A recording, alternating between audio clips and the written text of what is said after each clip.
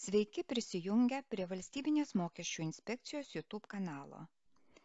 Artėjant komercinės paskirties nekilnojamojo turto mokesčio sumokėjimo terminui, aptarsime, kas ir iki kada teikia nekilnojamojo turto mokesčio deklaraciją KIT 711.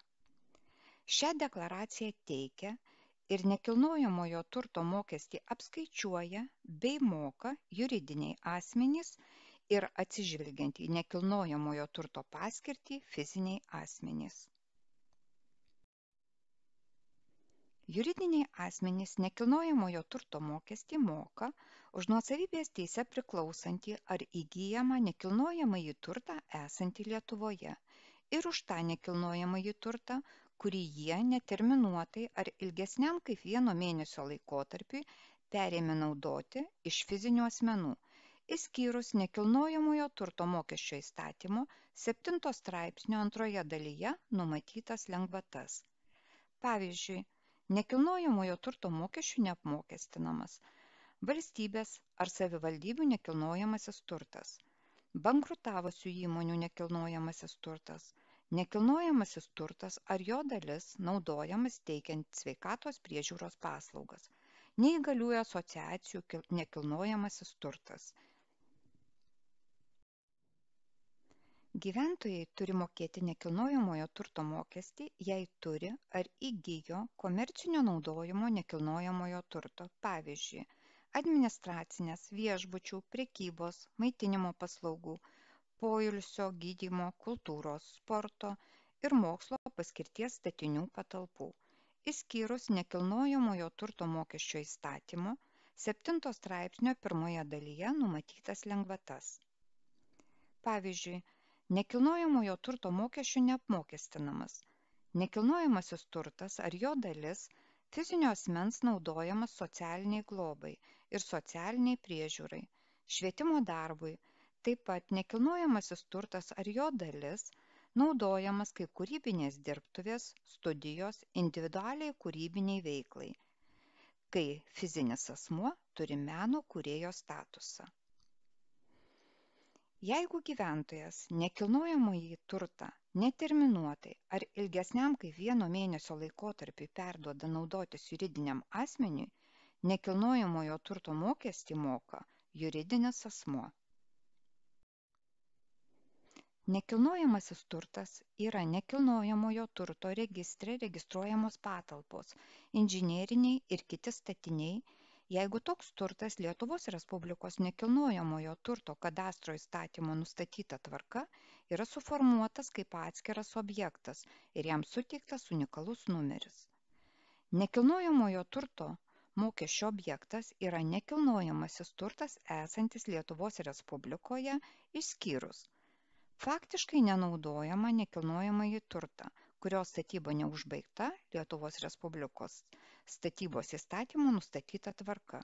Šiuo atveju nekilnojamasis turtas neapmokestinamas nekilnojamojo turto mokesčiu jei jis atitinka abu kriterijus. Statinio statyba rekonstravimas kapitalinis remontas arba atnaujinimas nėra baigtas ir statinys faktiškai yra nenaudojamas. Taip pat valdžios ir privataus subjektų partnerystės kaip tai apibrėžta lietuvos respublikos investicijų įstatyme pagrindu sukurtą ar įgytą nekilnojamąjį turtą kol vykdoma atitinkama valdžios ir privataus subjektų partnerystės sutartis. Ir šis turtas naudojamas pagal toje sutartyje nustatytą paskirtį nekilnojamojo turto vertinimą masinio vertinimo būdu ar atkuriamosios vertės kaštų metodu atlieka valstybės įmonė registrų centras ne rečiau kaip kas penki metai paskutinis vertinimas atliktas 2021 m. sausio 1 dieną nekilnojamojo turto vertinamo masiniu būdu mokestinę vertę galima sužinoti pagal nekilnojamojo turto unikalų numerį valstybės įmonės registrų centras interneto svetainėje. Pasirenkant turtas ir apribojimai nekilnojamojo turto vertinimas mokestinės vertės paieška. Nekilnojamojo turto vertinamo atkuriamosios vertės kaštų metodu valstybės įmonė registrų centras mokesčių mokėtojo prašymu išduoda nekilnojamojo turto mokestinės vertės išrašą arba pažymą, kur nurodoma nekilnojamojo turto vidutinė rinkos vertė.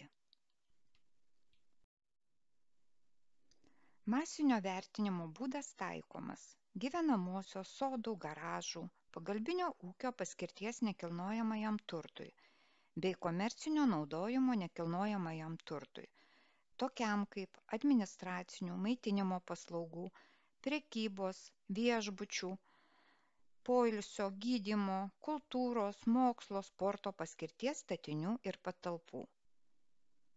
Atkuriamosios vertės kaštų metodas taikomas inžinerinių statinių kelių elektros geležinkelių oro vandens uostų komunikacijų naftos dujų ryšių šilumos vandentiekio nuotėkių šalinimo bei kitų inžinerinių tinklų hidrotechninių ir kitų statinių kitam nepaminėtam nekilnojamajam turtui tokiam kaip gamybos, pramonės, transporto, sandėliavimo ir kitų pastatų bei patalpų.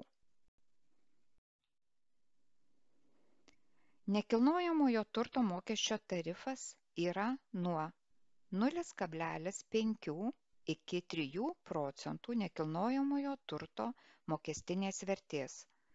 Konkretų mokesčio tarifą, kuris galios atitinkamos savivaldybės teritorijoje, nuo kito mokestinio laikotarpio pradžios nustato savivaldybių tarybos. Savivaldybių tarybos sprendimus galite rasti atitinkamos savivaldybės interneto puslapyje arba VMI internetinėme puslapyje. Nekilnojamojo turto mokestis apskaičiuojamas ir deklaruojamas nekilnojamojo turto mokesčio deklaracijos KIT 711 formos 02 versijoje ir jos prieduose. KIT 711 S priedą nekilnojamojo turto mokestis pagal savivaldybės pildo ir fiziniai, ir juridiniai asmenys. Kitus priedus pildo tik juridiniai asmenys. KIT 711 F priede pateikiama informacija apie juridinio asmens iš fizinių asmenų perimtą nekilnojamąjį turtą. KIT 711a priedas avansinis nekilnojamojo turto mokestis pagal savivaldybės, kurį moka tik juridiniai asmenys. Nekilnojamojo turto mokesčio deklaracija KIT 711 pateikiama kalendoriniams metams pasibaigus iki kitų kalendorinių metų vasario 15 dienos.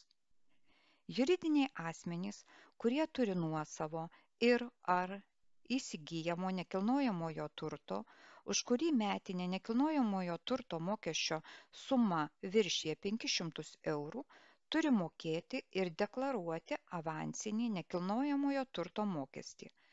Pažymime, kad fiziniai asmenys avansinio nekilnojamojo turto mokesčio neskaičiuoja ir nemoka. Nekilnojamojo turto mokestis turi būti sumokamas kalendoriniams metams pasibaigus iki kitų kalendorinių metų vasario 15 dienos. Avansinis nekilnojamojo turto mokestis sumokamas iki einamųjų kalendorinių metų kovo 15 dienos, birželio 15 dienos ir rugsėjo 15 dienos. Čia pateikta informacija, kaip savarankiškai surasti informaciją mokesčių klausimais ar pasikonsultuoti su specialistais.